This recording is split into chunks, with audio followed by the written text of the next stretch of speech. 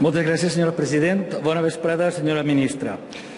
Cada vez que los ciudadanos oyen la palabra liberalización se ponen a temblar y tienen motivos. Recordemos que la liberalización del sector eléctrico nos ha llevado a ser el tercer país de Europa con las tarifas más caras y a una deuda de 25.000 millones.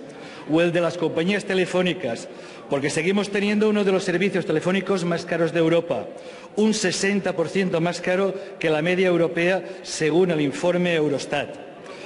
Y si hablamos directamente del ferrocarril, constatamos que la experiencia británica no fue más satisfactoria. Y la argumentación que le hemos oído, señora ministra, que estas medidas van encaminadas a abaratar costes a ciudadanos y a viajeros, ya sabemos, señora ministra, que no será así.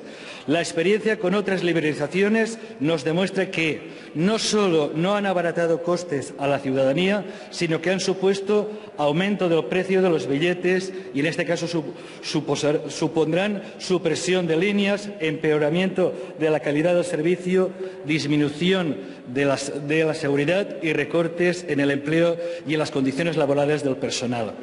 Frente a la apuesta francesa y alemana por fortalecer sus ferrocarriles públicos, aquí se inicia con este decreto su desmantelamiento. Es el mismo camino que ya iniciaron con la sanidad y con la enseñanza, convertir los servicios públicos en un negocio privado. Finalmente, no puedo acabar sin hacer referencia a las infraestructuras de los ciudadanos valencianos.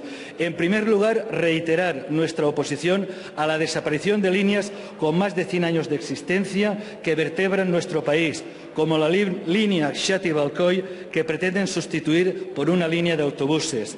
Desde, desde Compromís continuamos reivindicando las líneas Xati-Balcoi-Alacant, Gandía-Olivadenia o Castelló-Vinaròs como ejemplo de líneas que no tenemos y que son necesarias y rentables económicamente y socialmente.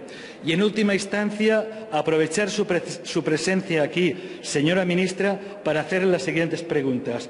¿Cuándo piensa terminar las obras del AVE a Alicante, que ya están a menos de un kilómetro de la ciudad y que llevan meses paradas? En ese sentido, coincidimos con la Fundación ProAVE cuando nos dicen que los retrasos sistemáticos e injustificados en la conexión de la alta velocidad con Alicante constituyen un acto de manifiesta irracionalidad económica y falta de visión de futuro. Por último, ¿Cuándo piensa ejecutar el tercer carril de mercancías por el Mediterráneo? ¿Cuándo piensa ejecutar el, corredor mediterráneo de una vez?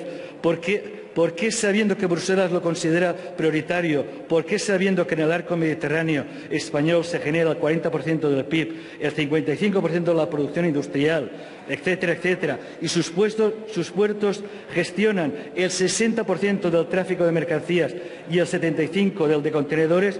¿Por qué el empeño del Ministerio de Fomento de impulsar otras líneas de alta velocidad de mucho menor impacto económico?